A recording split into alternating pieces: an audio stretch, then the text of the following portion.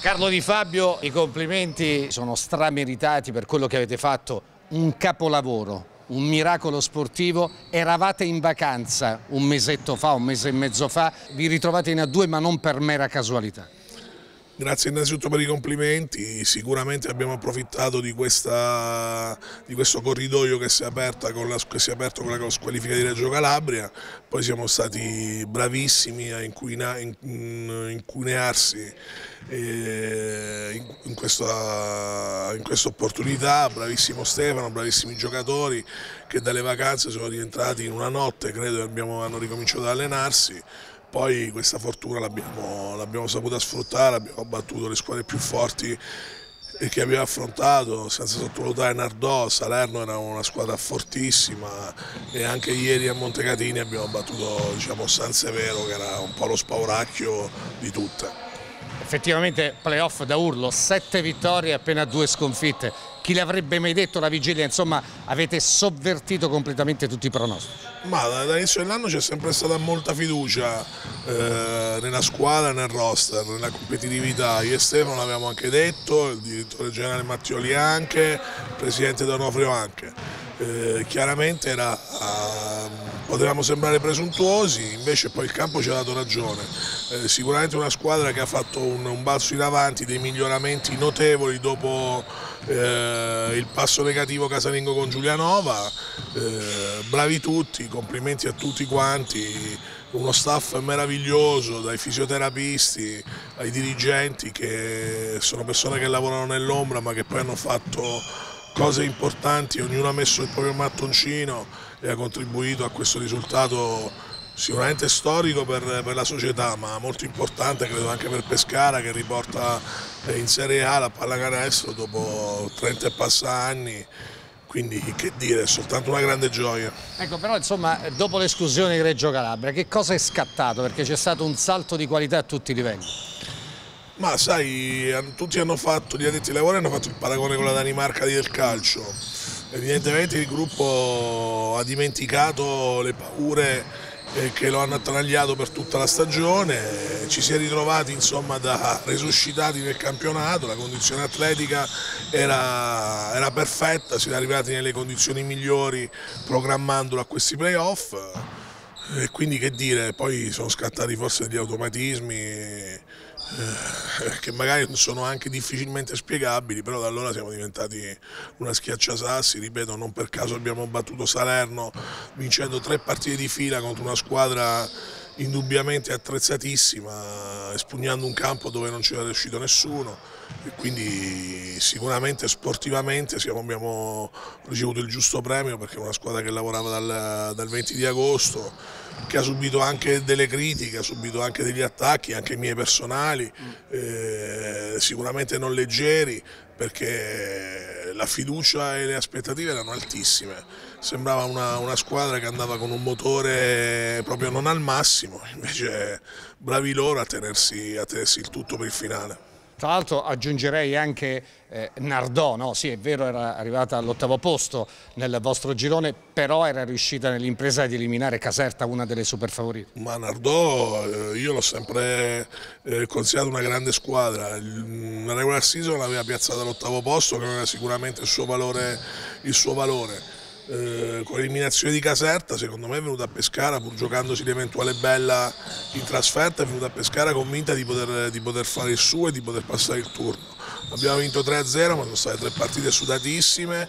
Eh, è stato importante vincere gara 3 lì perché sennò gara 4 sarebbe stata un'impresa da, da, fare poi gara 5 sarebbe stata difficile. Comunque anche Nardò è stato un banco di prova sicuramente importante soprattutto in quel momento il giorno dopo com'è Carlo? Io ti do del tuo perché ci conosciamo da una vita, insomma abbiamo frequentato lo stesso istituto, eravamo piccolini circa 40 eh, anni fa, la scuola media Mazzini, quindi me lo posso permettere, il giorno dopo com'è? Ma è un, un, day after veramente bello, pieno di soddisfazioni, pieno di gratificazioni.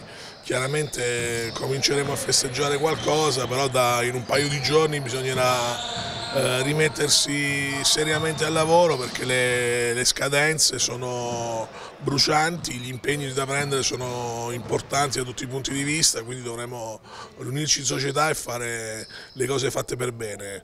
eh, la Serie A non è la Serie B, saranno, noi dobbiamo migliorare in tante cose, ogni volta che arriviamo a questi eventi diciamo, comuni ci confrontiamo con le realtà eh, migliori del nostro campionato eh, che hanno forse un'organizzazione più professionale, che hanno un numero di addetti ai lavori, un numero di persone che eh, ruotano all'interno della loro struttura sicuramente molto superiore al nostro e quindi in un certo modo ci dovremo adeguare, dobbiamo arrivare a, al, alla partenza di questa due diciamo alla pari con tutti, eh, fare una squadra sicuramente che possa eh, donare le, le, stesse, almeno in parte, le stesse soddisfazioni che questo amatore ha regalato ai suoi tifosi, penso, negli ultimi 5, 6, 7 anni. E questa è una notizia molto rassicurante direi per gli appassionati di basket di Pescara e non solo, insomma Carlo Di Fabio ce la farà, sarà ancora al timone di questa squadra.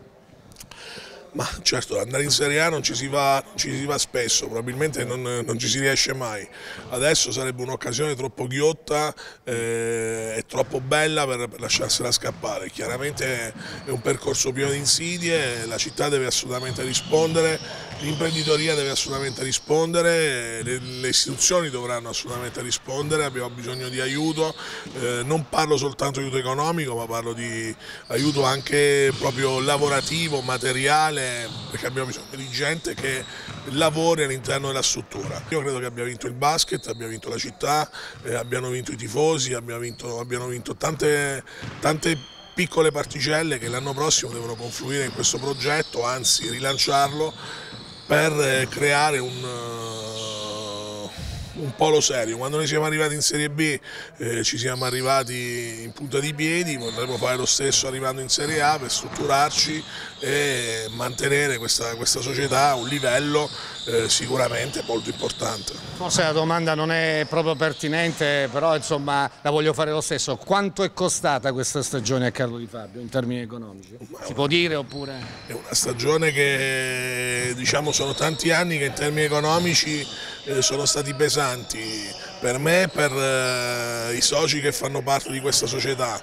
Eh, sicuramente rispetto ai, ai competitor di fascia alta che hanno gravitato in questi anni nel nostro campionato, più o meno nella nostra classifica abbiamo speso qualcosa di meno. Pescara è una città che magari rispetto a qualcun altro offre qualcosa in più e quindi siamo stati bravi a strappare dei contratti inferiori ad altri. Eh, le scelte sono state giuste, la prima che ha ripagato è stata quella di, di Coach Raiola che il giorno dopo che ha smesso di giocare è passato in panchina e questo è stato un valore aggiunto da tanti punti di vista e mai scelta fu più felice perché credo che anche lui, anche fuori dal campo, abbia dato quella spinta per lanciare la società a, questi, a questo traguardo raggiunto. Bisogna trattenerlo.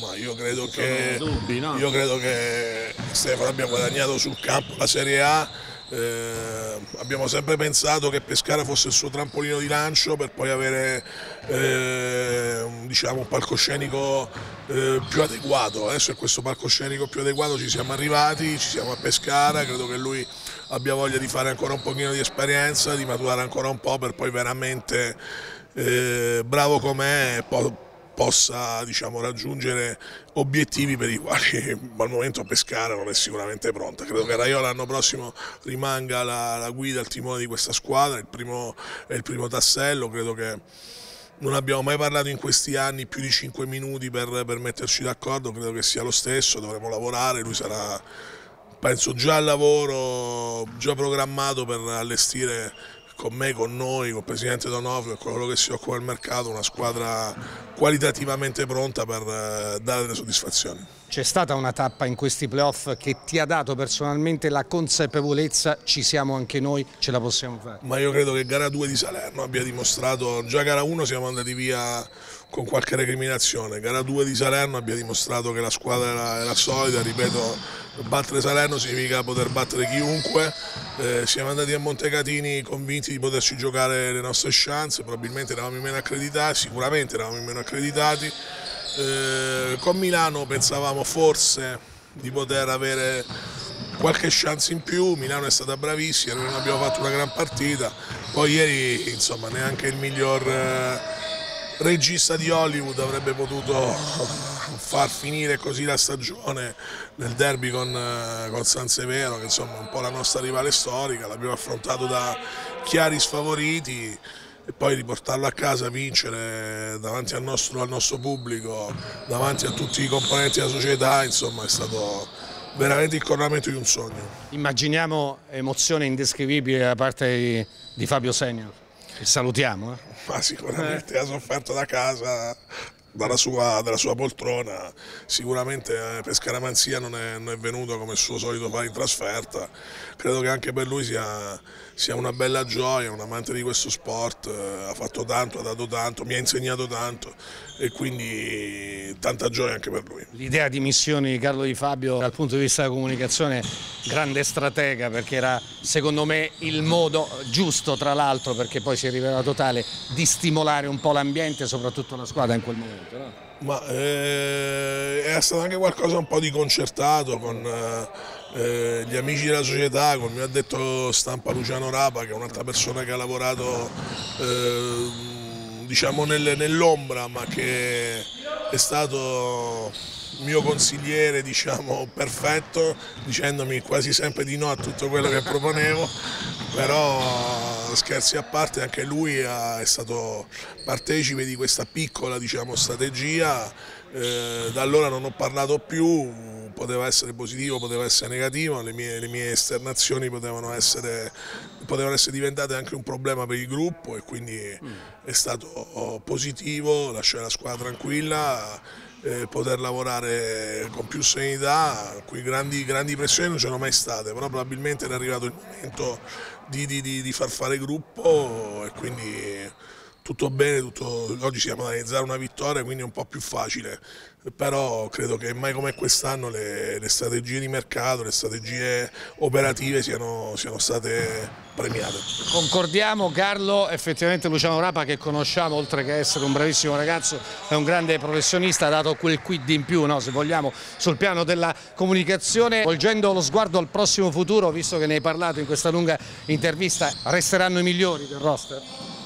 Ma eh, dovremmo vedere con Stefano, l'idea credo che non sia quella, anzi sia quella contraria allo smantellare, allo smantellare la squadra, credo che molti di questi, di questi, ragazzi siano pronti per la Serie A sia dal punto di vista tecnico ma soprattutto dal punto di vista umano, quindi questo gruppo ha dimostrato di essere vincente, questo staff è assolutamente vincente e quindi credo che la linea comune possa essere proprio quella di mantenere e puntare sul su questo, ripeto, questo gruppo che per quello che riguarda la società ha vergato pagine di una, di una storia probabilmente irripetibile.